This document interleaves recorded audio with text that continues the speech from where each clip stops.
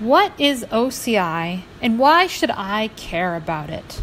OCI refers to the Open Container Initiative, which is generally a community that cares a lot about the development of open standards for containers. But whoa there, let's step back a second. I am zooming into your brain and making a really strong assumption that you even know what containers are. You're, you're probably thinking of your Tupperware right now. So let's talk about these containers. I, I, I don't mean that kind of container. I mean a Linux container. Let's do a quick and dirty definition. A container is a portable encapsulation of an environment. It's a really great way for you to package an operating system, libraries, your favorite software, and some special set of environment variables into a package that you can then move and run anywhere. I like to think that a good way to start building your understanding of containers is to generally outline the problems that the containers solve. So, what are these containers good for? Generally, the things are reproducibility, portability, development environments, continuous integration, flexibility, and isolation. Let's break these down a little bit. First, let's talk about reproducibility. Let's say that you're a scientist and you have this amazing pipeline that you run and it makes this awesome discovery and you want to share it with your friends. Well, that's that's a really hard problem. And it's a hard problem because there's many differences in environments, in hardware and software, heck even security. And so just the simple thing of like handing your software over to someone else and having them run it reproducibly or running it basically running it again, it's highly challenging. So a reproducible workflow, on the other hand, is one that uses containers to get us around this problem. It reduces the, the frequent uttering of the phrase, well, it ran on my computer.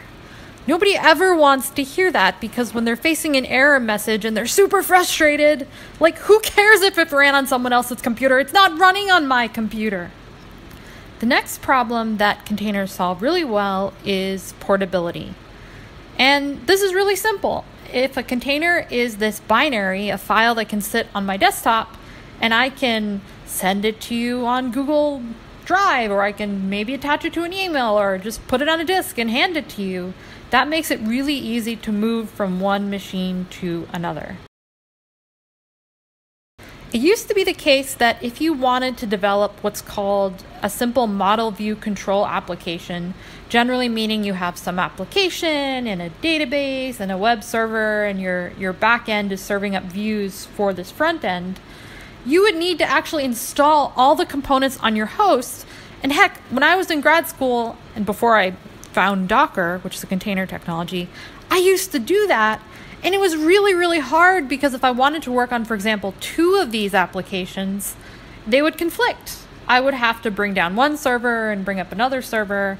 And so containers totally help with that because you can have multiple different uh, sets of applications via containers running at the same time. Well, not always the same time, but you can easily bring one up and bring the other down without substantial work.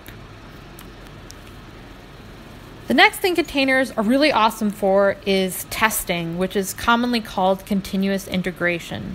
You can run your tests across operating systems, changing up environments really quickly just by way of changing your containers. And you do this on a single host. Next is flexibility. Given the rapid changing landscape of pretty much everything in software engineering and infrastructure, the technologies that we use really need to be flexible to this change. Because if they're not, that means that some admin somewhere has to log into a host and like change everything, and it's arduous and it's hard, and well, it just sounds terrible. Change is unavoidable. If you build your application as a containerized one, that means that deployment really means just testing this new container and then deploying it on, for example, a cloud provider.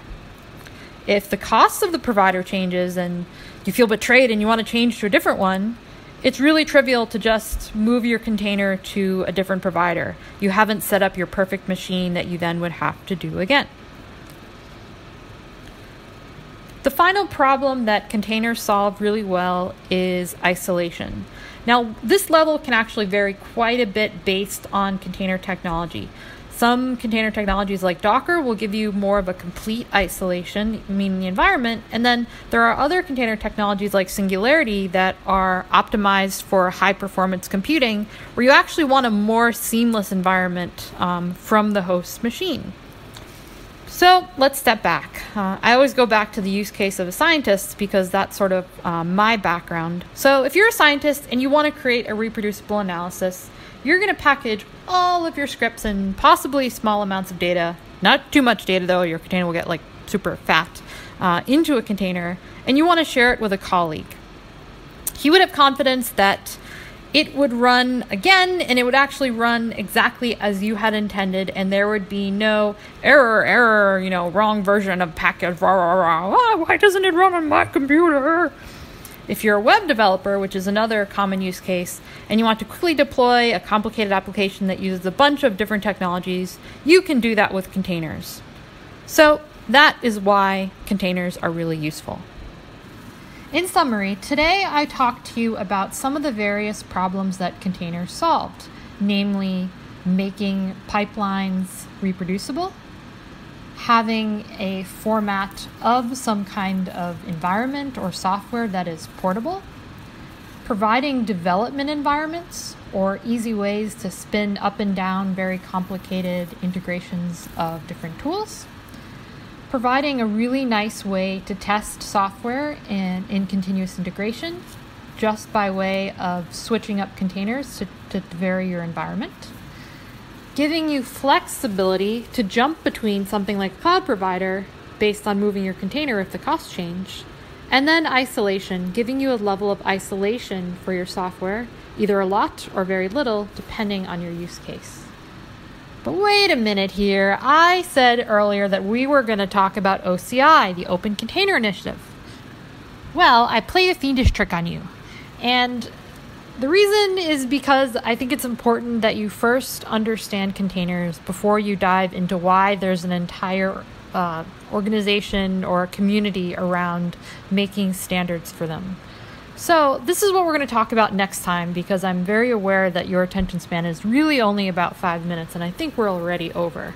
But basically, we're going to go a little bit more into what virtualization is and then we're going to talk about specifically what projects are owned by OCI that will help us to achieve these goals of reproducibility, portability, development environments, continuous integration, flexibility, and isolation. So thanks everyone. That's all I have for this first video. I'm not making promises about what comes in the future, but I assure you I will probably be talking about something else.